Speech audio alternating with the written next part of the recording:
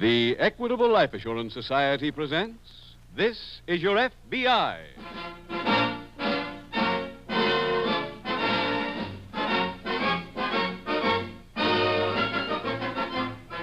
This is Your FBI, the official broadcast from the files of the Federal Bureau of Investigation, transcribed and presented as a public service by the Equitable Life Assurance Society of the United States and the Equitable Society's representative in your community.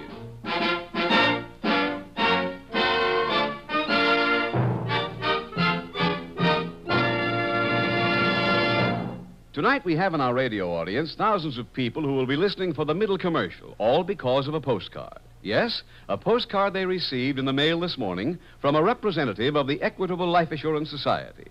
But whether you received a postcard from your Equitable man or not, the Equitable Society and its representatives urge you to listen to tonight's middle commercial. It's an important message describing the Equitable Society's Independent 60s plan. A practical, workable plan for people who want to be independent at the age of 60. I'll be back in approximately 14 minutes to give you full information on this special plan offered by the Equitable Life Assurance Society of the United States.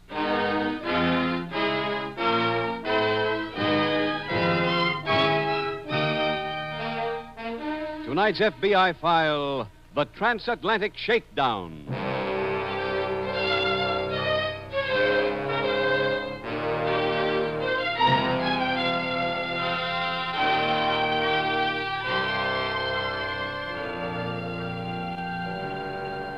In the old days, before there was such a thing as the Federal Bureau of Investigation, crime was a localized affair. It was possible in those days, if the crime was discovered soon enough, to isolate an entire community until the criminal had been apprehended. And even in those instances where he made good his escape, the criminal could not get very far because the means of transportation at his disposal were meager, even if he lived in one of the nation's largest cities. Today, however, all of that has changed.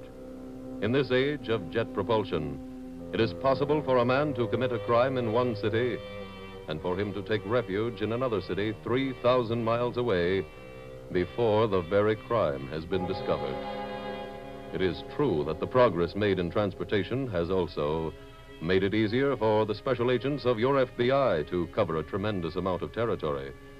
But the greater advantage has come to the criminal, for he and he alone is the one who decides the exact moment at which a crime will be committed.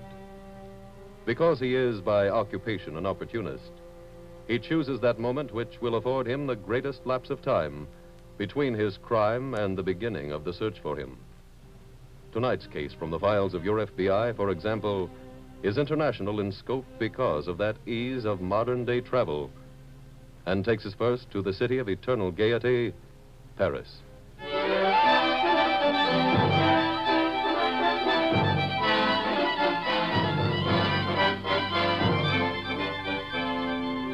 Tonight's file opens in an elevator which is slowly climbing to the top of the Eiffel Tower in Paris. The elevator operator also acts as guide. Le temps est clair aujourd'hui, et quand nous arriverons au premier étage dans un instant, vous pourrez voir jusqu'à 30 kilomètres. Mm. À votre droite, vous voyez la plus ancienne cathédrale Isn't de this a beautiful Notre-Dame. view, Mother? Et à votre gauche, Yes, Paul, l'écriture but- de but what? à 5 kilomètres I, d'ici. I don't understand all this. Our coming here? Yes. I have a very special reason. Droite devant I'll vous, explain it vous when we voyez get to the Montmartre, top. Où se trouve Very le well. cabaret de nuit. Vous voyez également les Look, look Sacré-Cœur. there. et There's our hotel. Arc de Triomphe. Oh, of course. Goodness, I'd forgotten how clearly things could be seen from here. Maintenant, mesdames et messieurs, si vous voulez bien me suivre, je vais vous montrer d'autres merveilles de Paris. Par ici, Wait plaît, there. mesdames Let's go this way where we can be alone. All right. Well, Mother, take a good look. You may not see Paris again for quite some time. What do you mean? We're leaving. But for where? The States. Paul. I've got to go back to see Don Jackson. But you just went to London to clear up the Jackson matter. I went to London to see Mr. Jackson's representative. What happened? He wanted to settle my entire claim against Don Jackson for $5,000. Why, that's ridiculous. That's what I told him. And? He got very angry. He threatened me. And, well, I was forced to use violence. That's why I've got to go back to see Don Jackson in person. Just because you had a fight with his representative? Mother, I killed him.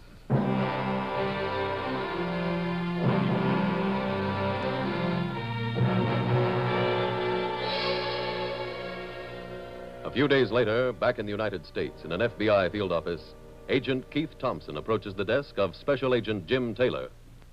Jim, I just got your note. Oh, hi, Keith. What's this stuff about a closed file? That's what we're working on. A closed case? That's right. Closed since 1945. Well, at last. This is the case I've been waiting to work on, one that's already been solved. Oh, it's not that simple, Keith. This is a file on a man named Paul Black. Uh-huh. The first entry we have is dated July 11th, 1935. Now, on that date, we received a complaint that Paul Black had possibly swindled two old women out of some real estate in this city. Uh, What kind of real estate, Jim? They owned the terminal building here. Oh? By the time they discovered that Black was a swindler, he had sold the property to a man named Don Jackson. Now, Jackson swore that he bought it in good faith, so the only chance the women had to recover their money was to ask the courts to intervene and set aside the transaction. And I assume that when prosecution was started, Black was among the missing. Mm-hmm. We made a rather complete search for him, but no lead turned up for three years. which would have been 1938. That's right. Well, at that time, we found that he'd gone to France. In some way, he had managed to get himself a passport. In his own name? No, he used an alias. We notified the French Sûreté, but they had no success in locating him. Then came the war, and early in 1945, we got a report on Black from the Army. Our army? Yeah. As they were moving through France toward the German border, they found the body of a man who carried the identification papers of Paul Black. Hmm. The body was terribly mutilated, but the identification papers carried his picture, so they sent that picture back to this country. Or was it identified as Black? That's right. Well, they buried him. We made a notation on his file that he was dead, and the file was closed. I don't understand what we're doing with it now, Jim. Two days ago, Washington got a routine report from Scotland Yard to check some fingerprints, Keith. Those prints belong to Paul Black. How could that be? Well, that's what the SAC wants us to find out. Here's the whole file right here. Let's go through it again and see if we can find an answer to that.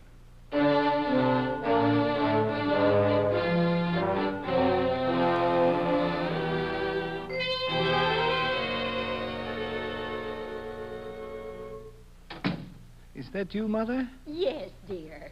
How was your walk? Very enjoyable. Fine.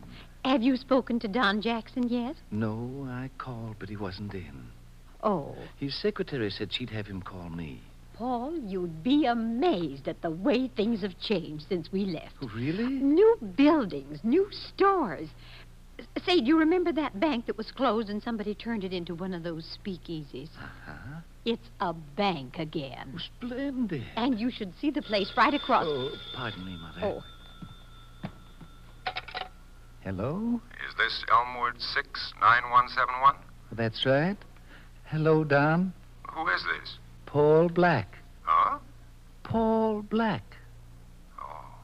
I didn't think it would be very smart to leave my name at your office, so I just left the number. I I see. I'd appreciate your canceling any appointments you have for the next hour or so, Don, Why? because I'm going to pay you a visit. And I think you'll want to see me alone.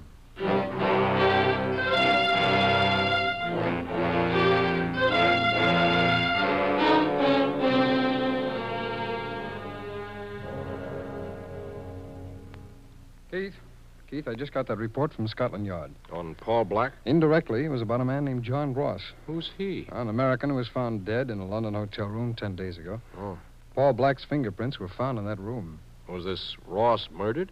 Well, apparently. One thing that hasn't been found yet, though, is his passport. You know, I think Black might attempt to use it. How about notifying immigration? I already have. They're going to be on the lookout for him. Um, I ran down a lead myself. Oh? What was it? I checked on Black's wife. I tried to find some indication on whether she left the country with him. Any results? Yeah. I found a bank account in her name at the Security National. The last deposit was made shortly before Black disappeared. He left in a hurry, didn't he, Jim? Yeah, yeah. Well, if she left the account, that would indicate that she went with him. And I'd say we could assume that if he's coming back, so is she. Mm-hmm. Keith, why don't you call the bank and ask them to call you if Mrs. Black shows up for the money? I've already covered that. Oh, swell. Oh, our records also show that she also had a uh, favorite beauty shop and a favorite dressmaker. You might check on them, too. We'll do. Meanwhile, I'll wait here for some word from the code room. What's doing up there? They're decoding a message that came in from the Paris Sûreté a little while ago. On this case? Yes, and as soon as that message is decoded and translated, we should have a lot more information on Mr. Paul Black.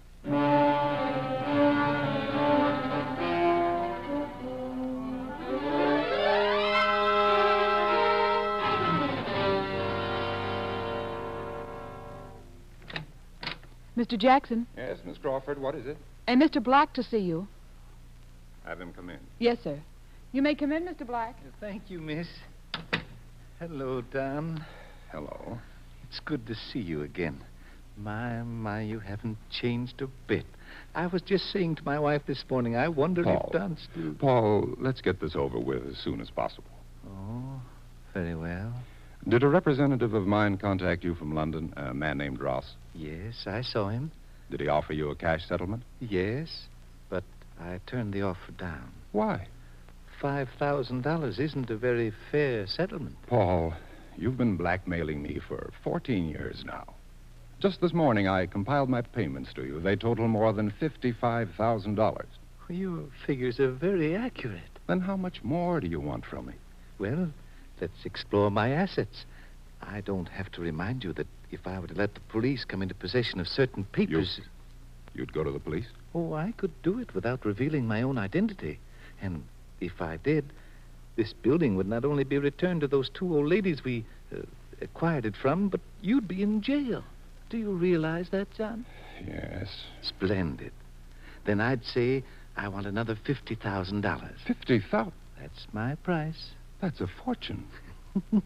That's why I want it. And I want it in cash by tomorrow afternoon.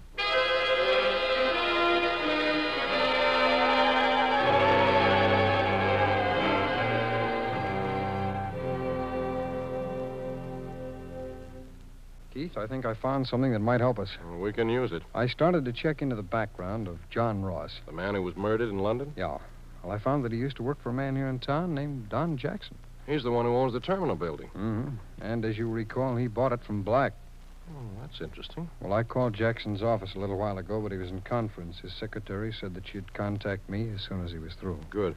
Jim, I've just finished going over this report from the Paris Sûreté. And? And we know now for sure that Paul Black is back in this country. How? They located the missing passport of John Ross They did where? In the hands of a black market passport operator in Paris. And under questioning, this operator admitted that he made a deal with Paul Black. Oh? He took the Ross passport from Black and gave him one in the name of Howard Poole. Ah. That pins the murder on Black, but why do you say we know that he's back in this country now? Because I checked immigration, and their records show that a Howard Poole flew from France to New York this week. That was Paul Black, of course, using the forged passport. Oh, excuse me, Keith. Yeah. Special Agent Taylor speaking. Hello, Mr. Taylor. This is Miss Crawford, Mr. Don Jackson, secretary. Oh, yes, Miss Crawford. Something terrible has happened. Mr. Jackson just committed suicide.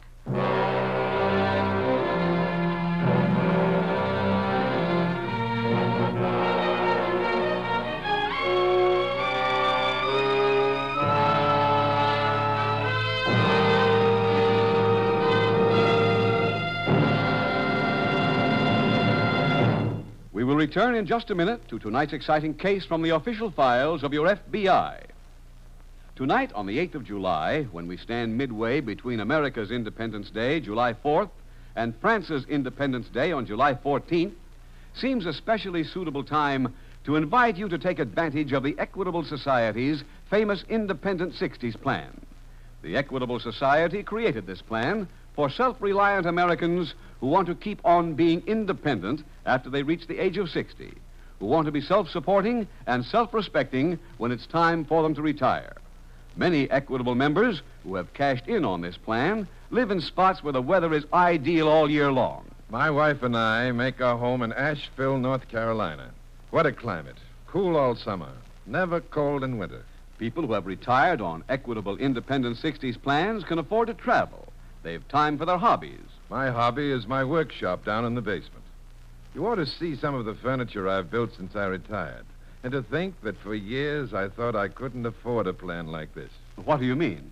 I thought you had to be rich to go in for an independent 60s plan. What opened your eyes? My Equitable Society representative. He showed me that I was already halfway towards independent 60s, thanks to Social Security and the life insurance I already own. That's a fact. In many cases, only a small amount of additional insurance is required to enable a man to look forward with complete confidence to independent 60s. A few extra dollars a week did it for me. So why not see your Equitable representative without delay? Phone him soon. Or send a postcard care of this station to the Equitable Society. That's E Q U I T A B L E. The Equitable Life Assurance Society of the United States.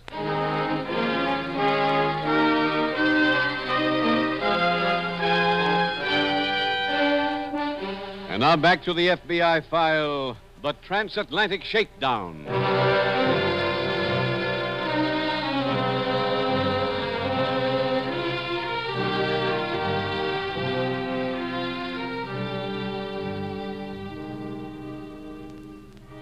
Federal Bureau of Investigation has under its jurisdiction the enforcement of some 120 federal statutes.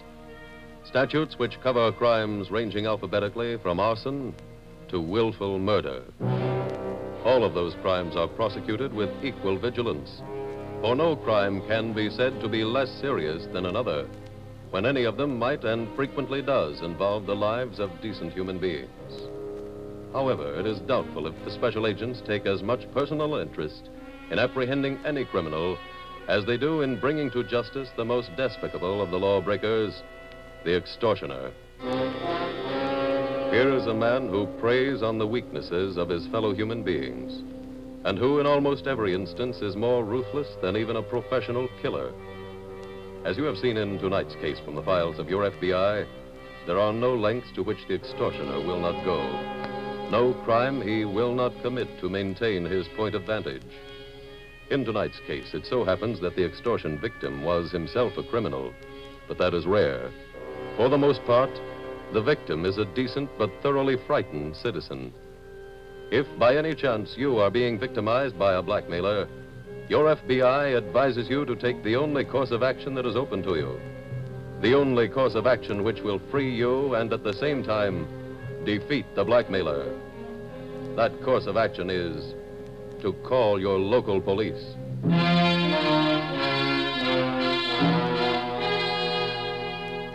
Tonight's file continues in the apartment of Mr. and Mrs. Paul Black.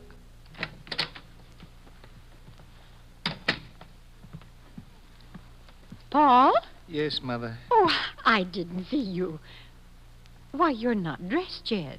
I know. But you said to hurry home so we could go to dinner and a show. Mother, the roof has fallen in. What? I called Don Jackson's office this afternoon to find out when to pick up the money. Didn't he have it? He'd committed suicide. What a dreadful thing to do to you. You don't know how dreadful. We spent all our money to get over here, Mother. We haven't enough left to get even one of us back to Paris. Oh, don't worry about that. Mother, if anyone finds out that we're in this country. I have a way for us to get back to Paris. How? Well, I was going through my trunk today. I found all sorts of old things, stationery I hadn't used, a list of people we sent Christmas cards to in 1934. Mother, how does that get us back to Paris? I also found an old bank book, an account that I have at the Security Bank. Don't you remember that account? Oh, yes, yes, I do. How much have you got in it? A little over $1,100. Splendid. As soon as the bank opens tomorrow morning, go down and get the money. We'll be on our way back to Paris tomorrow night.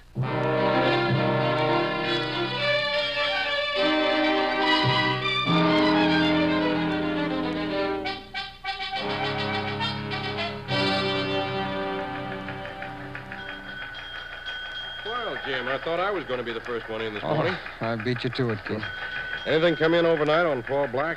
No. No, I'm afraid we're getting cold again.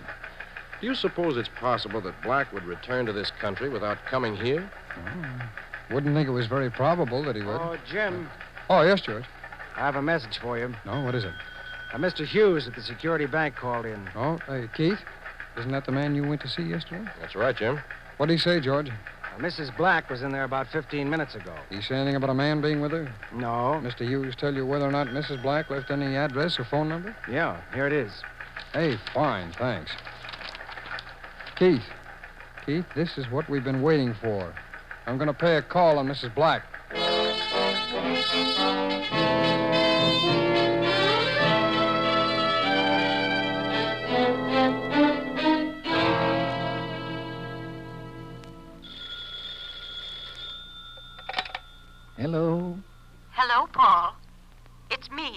Mother, where are you? in a phone booth. Where have you been? Just doing a little shopping. Did you get the money at the bank? Uh, no, not yet. Why not? They asked me to come back at one o'clock. Why? They said the account had been dead for so long that they needed a little time to check on it. That sounds like they were stalling. They said they'd call me if they cleared it up before one o'clock. How can they call you? I gave them the telephone number. Oh, Mother. You told them we were living here? Yes. That explains it. Explains what? I heard a man at the door a little while ago. Oh, The bank was probably waiting for you. They must have called the police as soon as you left. what can we do, Paul? Well, they must be watching our place. I'll tell you what. You come on home. Oh, all right, Paul. By the time you get here, I'll have something figured out.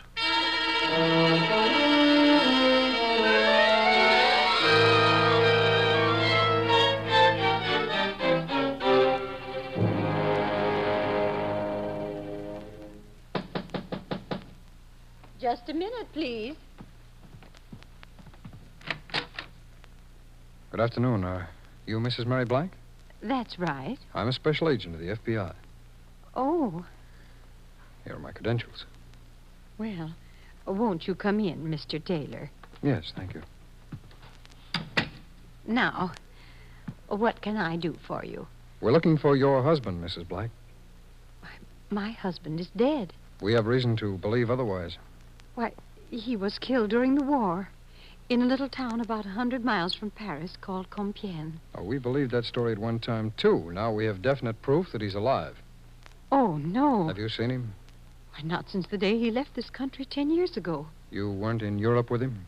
Uh, no. I'd say it's quite a coincidence that you should return here the same week that he did. Mr. Taylor, I have proof that uh, I was not in Europe with my husband. Oh, what kind of proof? Letters? Letters that Paul wrote to me from the time he went away until he was killed. How did he know where to write to you? Well, I moved a lot, but I always left a forwarding address. Hmm. May I see the letters, please? Yes, surely. I have them right here in my trunk. Oh, if Paul were alive, he'd still be writing to me. I know he would. Yes, here are the letters. Hmm. Thank you. Now, this one, dated January 23rd, 1945. This is the last letter received from him. Mm-hmm. That was written the day before Paul was killed. Oh, I see. He wrote beautiful letters. Do you mind if I take these back to the office with me? Will you promise to return them? I promise, Mrs. Black. I'll return them as soon as I possibly can. Thank you. Goodbye. Goodbye.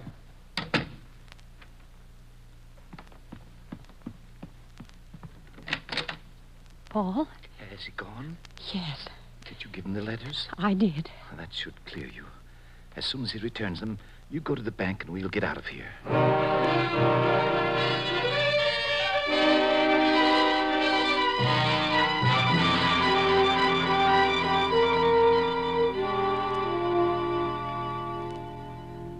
Mother, Yes, Paul. what time is it? Almost six. I won't be able to go to the bank now till tomorrow. I know. Did you make reservations? Yes, our plane leaves tomorrow at noon. Well, I hope. Wait, wait, wait till I get to the bedroom. Yes. Just a minute.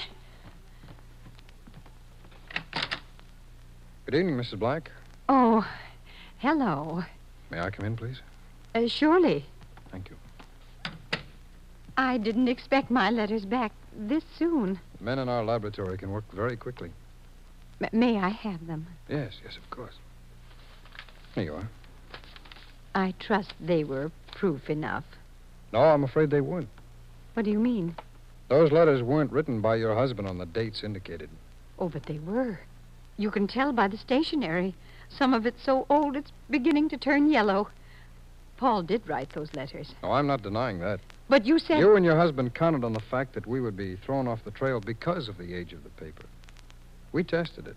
It's quite true that the paper is as old as you say it is. Well? One thing you didn't know is that our laboratory keeps a standard of every ink that's manufactured in this country. The tests show the ink on these letters was made in 1949. That's not true. Mrs. Black, I want your husband. What? I know that he's here, so you might as well surrender him. And we can all discuss these letters together.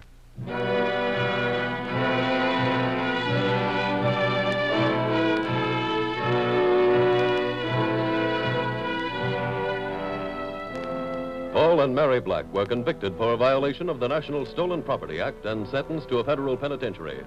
Detainers were also filed for the extradition of Paul Black to England to be tried for murder.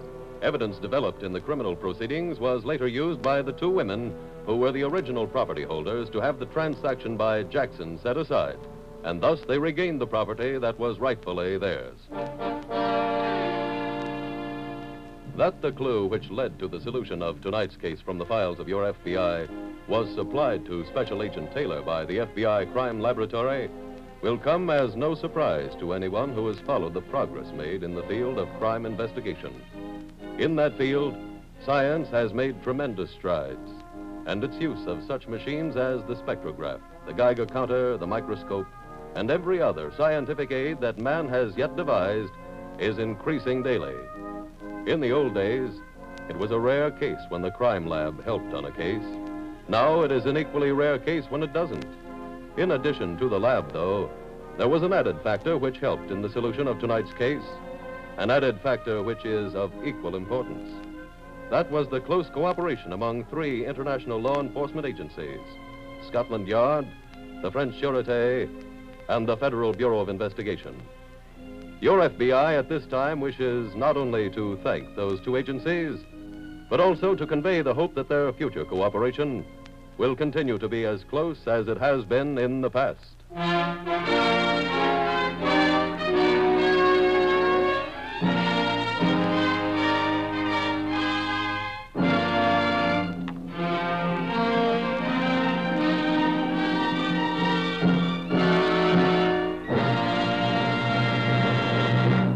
Just a moment, we will tell you about next week's exciting case from the files of your FBI.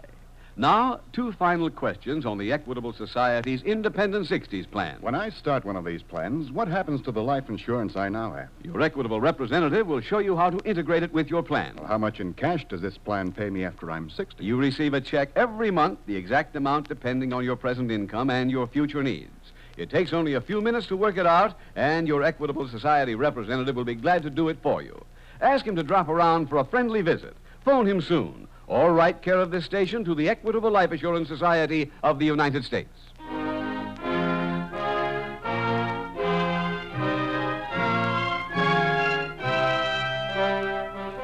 Next week, we will dramatize another case from the files of the Federal Bureau of Investigation. A dramatic story of a criminal double cross. Its subject, murder. Its title, The Merchant of Death.